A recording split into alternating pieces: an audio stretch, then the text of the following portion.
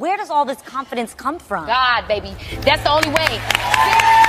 Seriously. Seriously. None of us really know what we're doing. I don't really know what I'm doing. I just do my best in the moment that I'm doing it. You know what I mean? It's kind of like building a house, brick by brick, and then, you know, you'll get this beautiful home. That's kind of how I, how I do my life. I just try the best I can make uh, choices from the right intention. Ask myself questions: Why are you doing this? Is it because you're doing this because you want attention, or are you doing this because it really means something to you? And that always helps me figure out which way I should go. Wow.